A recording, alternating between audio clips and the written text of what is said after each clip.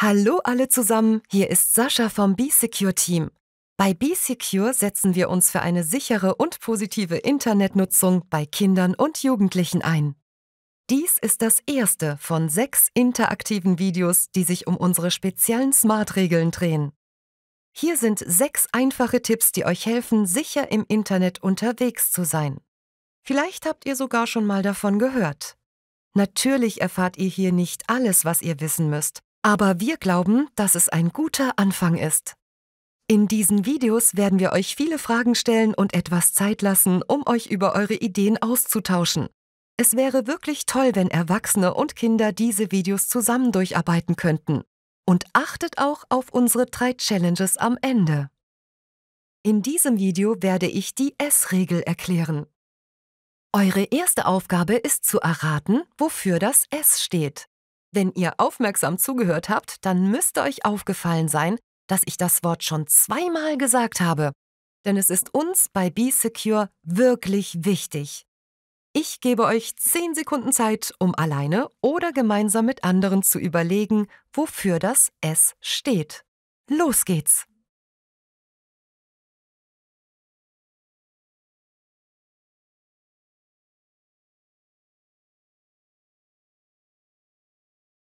Okay, wie ist es gelaufen?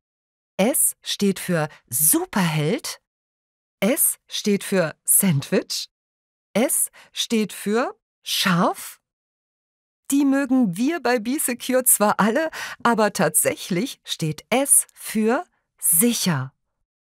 Bravo, wenn ihr das erraten habt oder schon wusstet. Wir kommen gleich auf das S zurück, aber zuerst muss ich euch noch jemanden vorstellen, dessen Name auch mit S anfängt.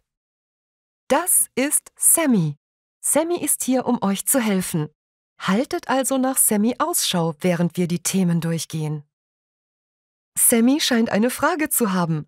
Sammy möchte wissen, was für Sachen teilen die Leute online? Hm, gute Frage, Sammy. Nehmen wir uns nochmal 10 Sekunden Zeit, um darüber nachzudenken. Los geht's!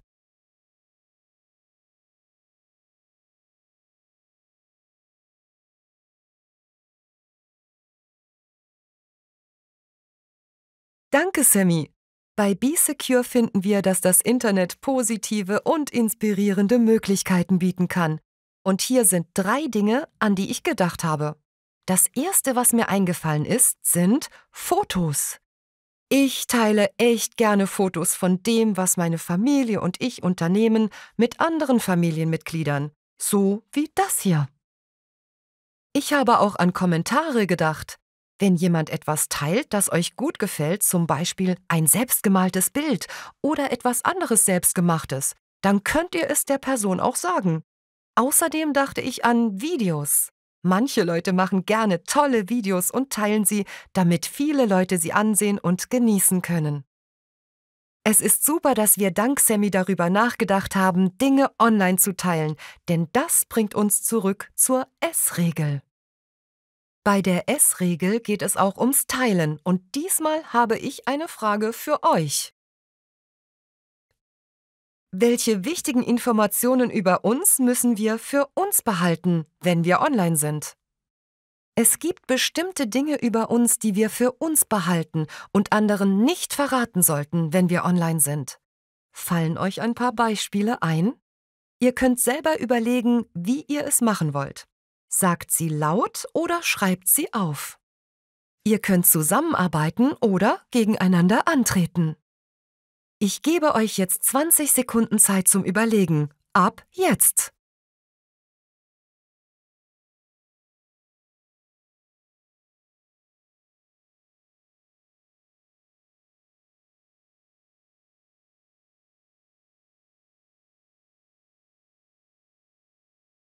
Noch fünf Sekunden.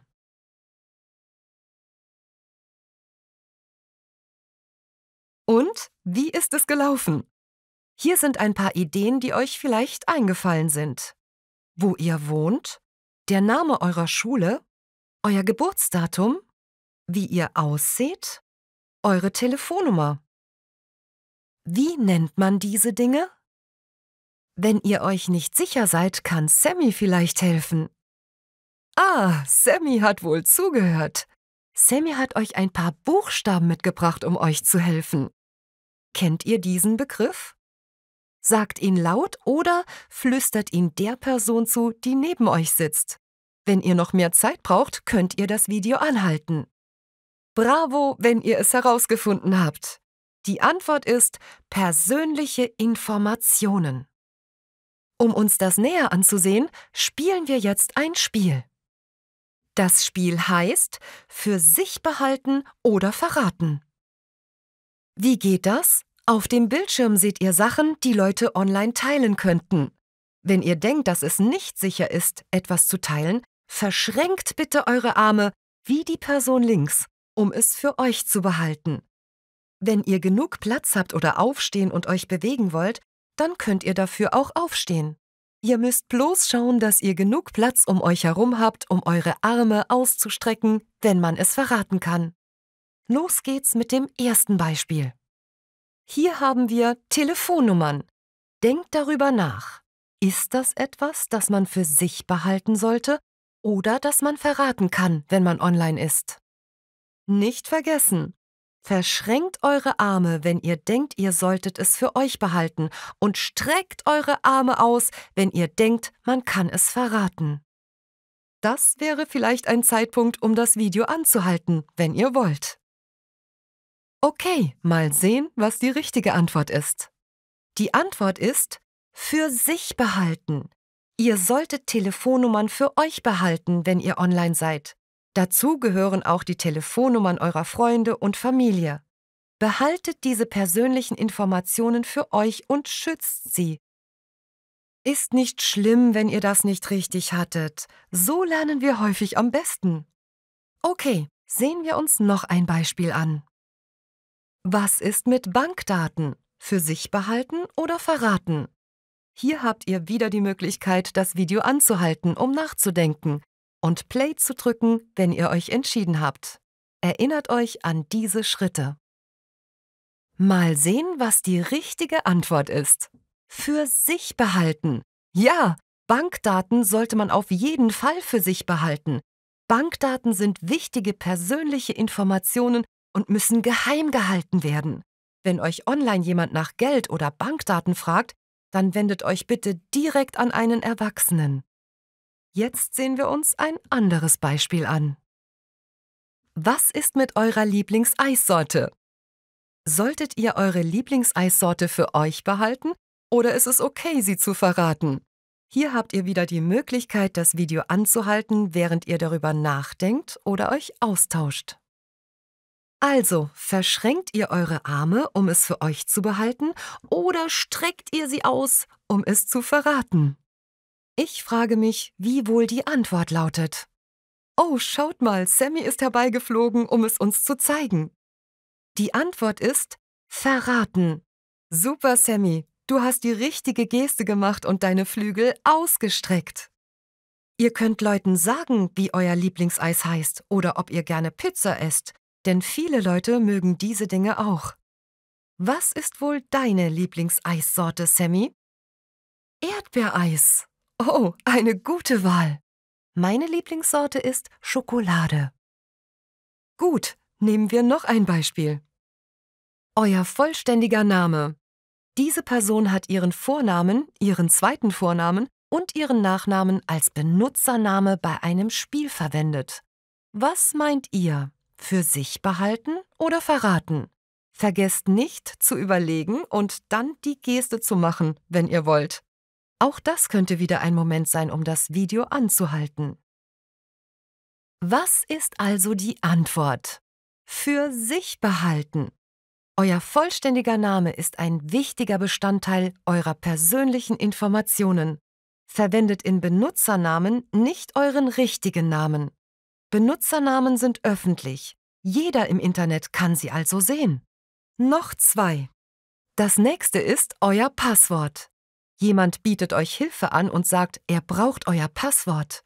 Für sich behalten oder verraten?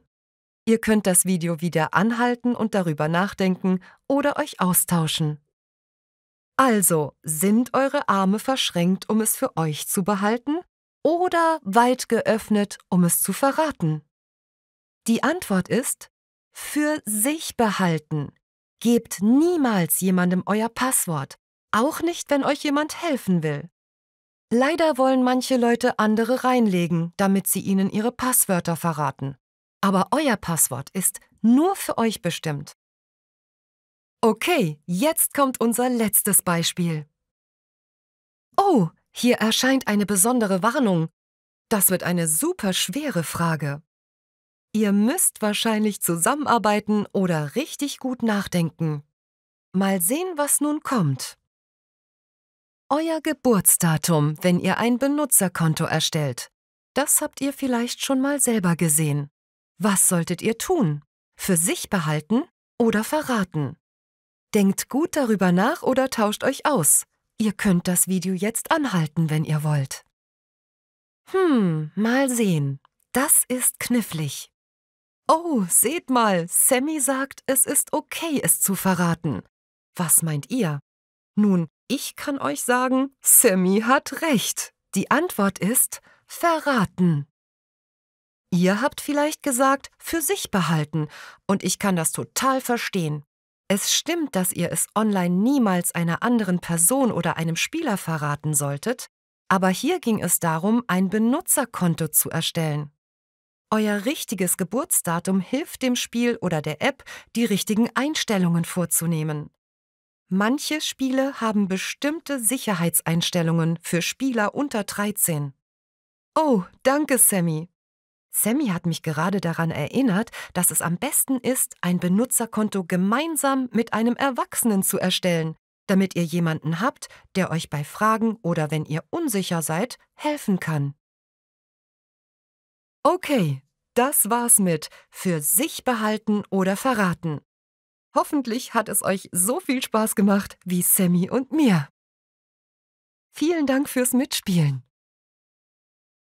Es war wirklich gut zu überlegen, was wir für uns behalten sollten und was man ruhig verraten kann. Aber fassen wir mit ein paar Tipps noch einmal zusammen, was wir gelernt haben. Hier ist der erste. Passt auf, wenn ihr online Fotos teilt. Stellt sicher, dass sie keine persönlichen Informationen enthalten, zum Beispiel jemanden vor seiner Schule. Erstellt neue Benutzerkonten gemeinsam mit Erwachsenen. Sie können euch helfen und herausfinden, ob die App okay ist. Behandelt eure Passwörter wie eure Zahnbürste. Genau wie Zahnbürsten sollten Passwörter niemals mit anderen geteilt werden.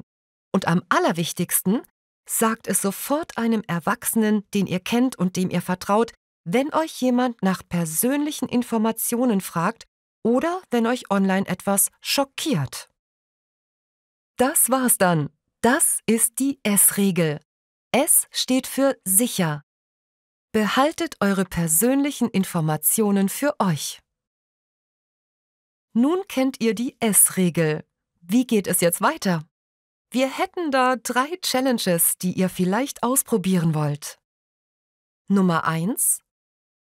Erstellt euer eigenes für sich behalten oder verraten Quiz.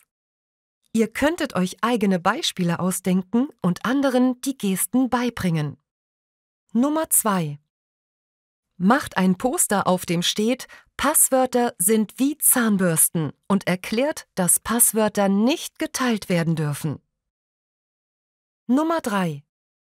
Denkt euch Superhelden aus, die den Menschen helfen, ihre persönlichen Informationen zu schützen. Wie sehen sie aus? Wie helfen sie den Menschen? Sucht euch die Challenge aus, die euch gefällt, oder versucht es mit allen drei.